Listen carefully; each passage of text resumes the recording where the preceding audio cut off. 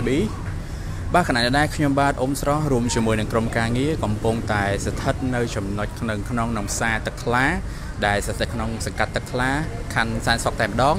ដែលគណៈនេះដែរគឺមានបងប្អូនជាប្រវត្តិគាត់បានតំណែងតំណងទៅកាន់អង្គភាព TVSB ដែលគាត់បានរាយការណ៍ប្រាប់មកថាមានរអ៊ំប្រុសបាទម្នាក់ខាងនេះ បាទរអ៊ំប្រុសខាងលើនេះដែលយើងបានបង្ហាញគឺគាត់បានវង្វេងផ្លូវបាទវង្វេងផ្លូវតាំងពីព្រឹករហូតមកដល់ស្មារតីតែម្ដងឥឡូវនេះគាត់ đã ដឹងថាអឺ គាត់ត្រូវទៅណាទៀតទេហើយក៏ត្រូវបានបងប្អូនជាប្រវត្តិបានឃើញប្រទេសឃើញក៏ឲ្យគាត់អង្គុយមួយកន្លែងទិញទឹកទិញបាយអីឲ្យហូបចឹងទៅ បាទហើយក៏បានសួរនាំទៅដូចថាគាត់មិនវិញមិនដឹងថាត្រូវឆ្លើយយ៉ាងម៉េចទេអញ្ចឹងរឿងហេតុកាលលើនេះយើងអត់ដឹងច្បាស់ថាគាត់មកពីណាឬនៅខេត្តណាឬក៏នៅក្នុងក្រុមហ៊ុនផ្សេងទេអញ្ចឹងមានតែសាកសួរទៅដល់បងប្អូនជាប្រវត្តិដែលគាត់បានប្រទេសឃើញក៏ដូចជា អ្នកអ្នកដែលបានឃើញគាត់បាទដើរមកពីណាពីណីនេះសិនឥឡូវនេះយើងទៅជួបសួរជាមួយនឹងបងស្រីម្នាក់ដែលគាត់បានឃើញគាត់តាំងពីព្រឹកមកម្លេះបងជើញចូលតិចមកបងបាទមានសួរបងមានសួរអឺបងមកអាចជួយបញ្ជាក់បានទេថាដំបូងឡើងបងឃើញគាត់មកពីខាងណាគាត់ដើរមកពីណាហើយសភាពគាត់មានអាការៈដូចជាទ្រុឌទ្រោមឬយ៉ាងណាដែរទេចាបងចាបានអឺព្រឹកមិញហ្នឹងគាត់ចុះជាហៀងខាងនោះតាំងពីព្រឹកក៏គេឃើញគាត់អង្គុយអញ្ចឹងណា ចាអង្គុយរបៀបចកកចឹងតែគេសួរគាត់ថាពូមរណាគេគាត់ថាគាត់មរកូនចានៅសាហ្នឹងណាហើយគាត់ថាគាត់ដើរអស់ហើយរត់ឃើញទេហើយគាត់ហត់គាត់ដើរចេះតែដើរតុបតុបកន្លែងគេអញ្ចឹងណាខ្ញុំឃើញគាត់គេឃើញគាត់តាំងព្រឹកតែដោយសារអីគាត់ល្ងាចឡើងគាត់ដើរពីខាងនឹងមកតែគាត់ដើរចុះមកគាត់ដើរមកដល់កន្លែងខ្ញុំហ្នឹងប៊ីសដួលហងអីហងនៅកន្លែងហ្នឹងហើយពួកខ្ញុំក៏សួរគាត់ថាអូមកមកពីខាងណាមកពីណាអញ្ចឹងគាត់ថាគាត់ អឺដើរពីខាងខាងផ្លូវខាងនោះមកអញ្ចឹងណាហើយសួរអ៊ំផ្ទះកូនអ៊ំនៅកន្លែងណាអីអញ្ចឹងគាត់ថាកូនគាត់ផ្ទះនៅហ្មងដែតមានកូន5នាក់ចាហើយដល់គាត់សួរគាត់ទៀតថាអ៊ំមានស្គាល់លេខទូរស័ព្ទអត់គាត់អត់ស្គាល់លេខគាត់ស្គាល់ប៉ុន្តែស្គាល់តែលេខ092មួយលេខទេ092តែប៉ុណ្្នឹងចាហើយអត់ទេហើយពួកខ្ញុំក៏សួរថាអ៊ំឥឡូវបើអ៊ំស្គាល់លេខទូរស័ព្ទកូនពួកខ្ញុំឲ្យតុកតុកគេជូនទៅផ្ទះតែគាត់ថាគាត់ស្គាល់តែពីរលេខហ្នឹងឯង គាត់ស្ងាត់ទៅហើយគាត់ទ្រុឌទ្រោមអញ្ចឹងទៅពួកខ្ញុំអត់ដឹងធ្វើម៉េចមានតែចាមានបានតំណងទៅកាន់សមាជិកដែរបងអឺខ្ញុំខ្ញុំទេទៅប៉ោះតែប៉ោះគាត់ឲ្យខ្ញុំតាក់តងទៅប្រធានផ្សារតែប្រធានផ្សារថាឲ្យអ្នកនៅក្នុងផ្សារហ្នឹងអឺមកមើលគាត់តែអត់ឃើញមកអញ្ចឹងបានពួកខ្ញុំសម្រាប់ថាទេទៅខាង TV Facebook ឲ្យជួយមក live រកគាត់អញ្ចឹងណាព្រោះពួកខ្ញុំអត់អត់ដឹងថាធ្វើមានវិស័យបានណាដើម្បីជូនគាត់ទៅផ្ទះវិញព្រោះគាត់មានស្គាល់ផ្ទះគាត់អញ្ចឹងហ៎តែដល់ដឹងគាត់ប្រាប់ថា ផ្ទះគាត់នៅម្ដុំម៉ងដែនចាគាត់ថាផ្ទះគាត់នៅម្ដុំម៉ងដែនហើយគាត់មានកូនកូនបមានកូន5នាក់កូន5នាក់គាត់នៅចាំខ្លះខ្លះដែរគាត់ចាំតែពួកខ្ញុំសួរតែគាត់ប្រាប់តែប៉ុណ្្នឹងឯងហើយគាត់ហើយគាត់សួរគាត់ឥឡូវគាត់ទៅផ្ទះរួចអត់គាត់ថាទៅអត់អស់កន្លងគាត់សុំអង្គុយសិនអញ្ចឹងគាត់ឆ្លើយបានតែបងវាយសួរគាត់ក៏បានដែរបាទបាទចាអូអញ្ចឹងយំទៅបងឃើញគាត់តាំងវេលាមកប៉ុន្មានបងអើនិយាយទៅម៉ោងប្រហែលជា គេឃើញនៅខាងនោះគេឃើញគាត់តាំងព្រឹកតាំងព្រឹកមកចាតែដល់គាត់ពួកខ្ញុំឃើញគាត់ប្រហែលជាម៉ោង2ម៉ោង3យើងនេះហេគាត់ដើរពីខាងនោះមកគាត់មកឈប់កន្លែងផ្លូវចាផ្លូវធំដើរតិចតិចនេះជ្រាប់ជ្រាប់មួយទៀតជ្រាប់មួយទៀតចាហើយគាត់ដើរមកគាត់តិចតិចតាមខ្នល់មកគាត់ចុះមកដល់ហ្នឹងចាពួកខ្ញុំឃើញគាត់ប្រហែលជាម៉ោង2ម៉ោង3ហ្នឹងឯងតែដោយសារព្រឹកមិញគេតាក់តងទៅដែរតែអត់មានអ្នកឆ្លើយតបមួយគាត់ត្រូវយកគេឲ្យជួយមកដោះស្រាយគាត់តាំងព្រឹកមិញដែរតែមានមានបាន ទិញបាយទឹកអីគាត់អឺព្រឹកមិញគេឲ្យគាត់ភាសាហើយហើយពួកពួកខ្ញុំចង់ជួបគាត់ល្ងាចដែរអញ្ចឹងណាពេលព្រឹកគេទិញបាយគេទិញទឹកទិញអីគាត់ភាសាហើយមិញពួកខ្ញុំឲ្យទឹកឲ្យអីគាត់ភាសាដែរអញ្ចឹងណាបាទអូអរគុណច្រើនមែនទែនបងមានចិត្តជួយហ្មងណាអរគុណឥឡូវចង់ទៅសួរគាត់បន្តិចថា ឃើញបងស្រីសួរបានច្រើនអញ្ចឹងអាចនឹងគាត់និយាយបានខ្លះខ្លះអញ្ចឹងនេះគឺជាការ live មួយដើម្បីជាដំណឹងទៅដល់បងប្អូនជីវរដ្ឋក៏ដូចជាសាច់ញាតិរបស់លោកតាបាទលោកអ៊ំបាទដែលគាត់បានវង្វេងផ្លូវហើយខ្ញុំបញ្ជាក់ផងគឺគាត់នៅក្នុងច្រកផ្សារទឹកថ្លាបាទអត់បាក់រនៅលើផ្លូវសហព័ន្ធស៊ីហើយនៅផ្សារទឹកថ្លាអញ្ចឹងអាចចូលមកតាមច្រកផ្សារទឹកថ្លាបានបាទអញ្ចឹង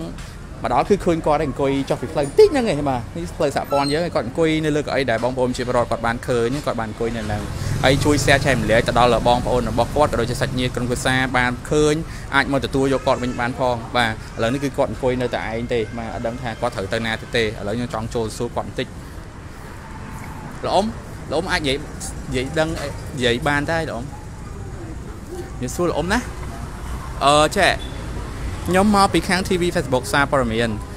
ឥឡូវនេះលោកអ៊ំមានដឹងថាលោកអ៊ំទៅផ្ទះវិញតាមផ្លូវណាអត់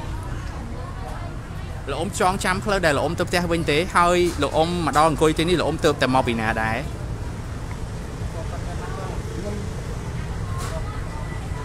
អ៊ំអ៊ំអ៊ំជួយទាញម៉ាស់ពាក់ផងអ៊ំម៉ាស់អ៊ំម៉ាស់ម៉ាស់នៅក្រោមអ៊ំ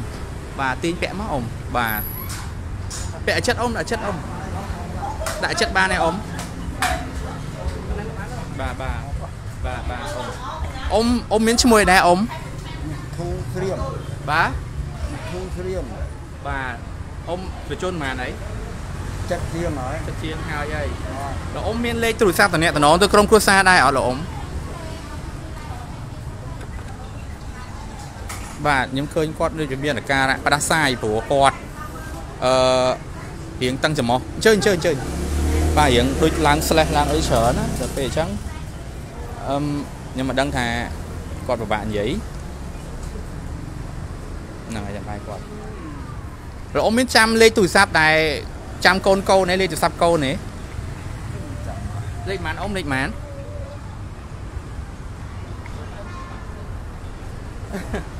អឺអ៊ំហាក់ជាអត់ចាំទេអ៊ំអញ្ចឹងឥឡូវខ្ញុំសុំ live ដើម្បីឲ្យក្រុមគ្រួសារអ៊ំមកទទួលអ៊ំឯណាលោកអ៊ំផ្ទះនៅណាលោកអ៊ំចាំផ្ទះខ្លួនឯងអត់វាចេះ ផ្ទះនៅម្ដុំណាលោកអ៊ំចាំហ៎លោកអ៊ំចាំផ្ទះរស់នៅរាល់ថ្ងៃហ៎នោះទឹកខ្លានេះណែអាហ្នឹងគឺនៅទឹកខ្លាបាទនេះគឺផ្សារទឹកខ្លាអញ្ចឹងអ៊ំអ៊ំចាំផ្ទះអ៊ំនៅណាអត់បើនៅទឹកខ្លាបាទអ៊ំអង្គុយកន្លែងហ្នឹងហ្នឹងគឺនៅផ្សារទឹកខ្លាអ៊ំបានបងប្អូនជាពលរដ្ឋជួយអ៊ំបាទឥឡូវនេះគឺគាត់បានតំណែងមកខ្ញុំដើម្បីឲ្យផ្សាយដើម្បីឲ្យក្រុមគ្រួសារអ៊ំបានឃើញបាទឲ្យមកទទួលយកអ៊ំវិញតើអ៊ំចាំផ្ទះអ៊ំអត់ហើយក៏ចាំលេខទូរស័ព្ទរបស់កូនកូនអត់ អធិស្ឋានមែនទេខ្ញុំសូមរក្សាកម្រិតជាមួយនឹងលោកអ៊ំបាទយើងយើងឆ្ងាយពីគាត់ហើយដោយសារតែគាត់អឺផ្ដាសាយឡើង slash ឡើងអីចឹងណាអធិស្ឋានមែនទេបាទហើយជាខ្ញុំសួរទៅគាត់ដូចអត់សូវចាំទេអញ្ចឹងមានតែព្រោះអីមុនហ្នឹងគឺគាត់បានប្រាប់បងស្រីមិនមែនថាគាត់នៅម្ដុំសំរងដែរពេលអឺមុនហ្នឹងគឺគាត់និយាយជាមួយបងស្រីបានថាគាត់នៅសំរងដែរទេគាត់និយាយបានឥឡូវខ្ញុំសួរគាត់អត់ដឹងហើយជាគាត់វែងហើយអញ្ចឹងអត់មានអីច្រើនទេគ្រាន់តែចង់យើងផ្សាយនេះយើងផ្សព្វផ្សាយនេះគឺតាមសំណូមពរបងប្អូនជារដ្ឋឃើញអាណិតគាត់ អញ្ចឹងតែគាត់ដើរមកពីណាពីណីទេមកយើងអត់ច្បាស់លាស់ទេឃើញគាត់ដើរទៅតាមផ្លូវសហព័ន្ធស៊ីយើងត្រុកត្រុកត្រុកមកហើយក៏មកអង្គុយនៅទីនេះបាទហើយ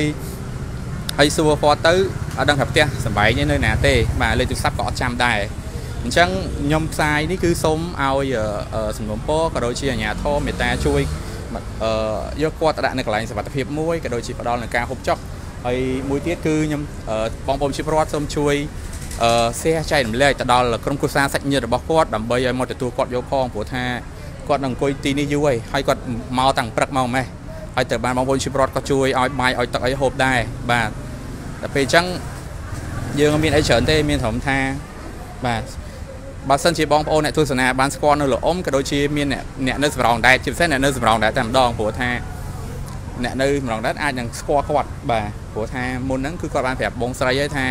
គាត់ផ្ទះនៅសម្រងដែរអញ្ចឹងបើសិនជាអ្នករស់នៅសម្រងដែរបានស្គាល់គាត់អាចជួយតំណតំណងកាន់កាន់ក្រុមគ្រួសារគាត់ដើម្បីមកទទួលផងព្រោះថាឥឡូវគាត់អត់មានលេខទូរស័ព្ទឬក៏ដូចជាអឺការតំណតំណងទៅសាច់ញាតិអីដឹងទេគាត់វែងហើយបាទគាត់នឹងអង្គុយតែឯងទេហើយសូមបញ្ជាក់បាយផិនភាកបាទផិនភាកល្អមគឺពាក់ស្បែកជើងប៉ាតាបាទស្បែកជើងប៉ាតាខោជើងខ្លីរៀងពណ៌ប្រផេះក៏ដូចជាអាវយឺតដៃខ្លី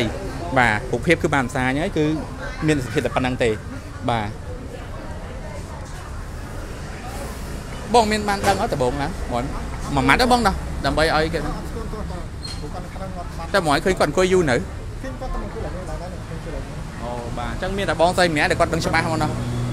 អូបាទបើសិនជាសមត្ថកិច្ចក៏ជាអាជ្ញាធរនៅសង្កាត់ទឹកខ្លាមេតាឃើញហើយសូមជួយគាត់ផងបាទជួយយកគាត់ទៅដាក់នៅកន្លែងសុវត្ថិភាពក៏ដូចជាផ្ដល់ការហូបចុកគាត់ផងព្រោះថា